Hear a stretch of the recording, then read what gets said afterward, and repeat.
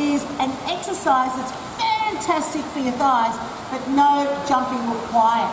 So a familiar exercise, it's been done all around the world, aerobics is very, very popular, is a single leg kick forwards and kick back.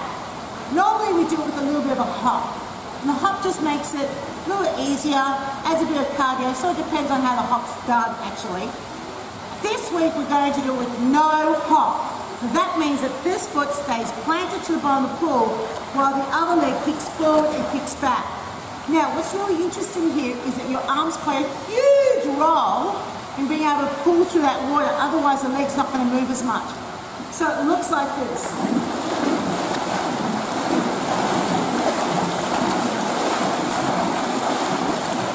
Okay, amazing hamstring exercise because as you kick forward to pull back at the same speed, You've got to bend the knee and extend the hip and go all the way back. The pull through is easier, the pull back's much more intense.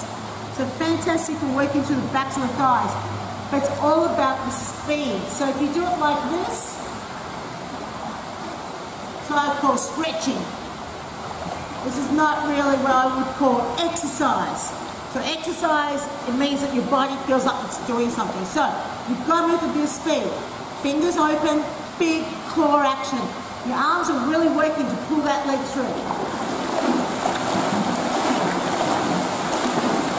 Notice how my shoulders move. They rotate back, rotate forwards. That's normal. Trying to tell your clients to keep them perfectly still while arms and legs are moving is not good at all. There's a school of thought that is, if you don't move anything, you're using your core. Wrong. You're potentially injuring smaller areas of the body like joints or tendons or ligaments because you're putting too much load. Share the load. Share the load over as many muscles as you can, over as many joints as you can. Here.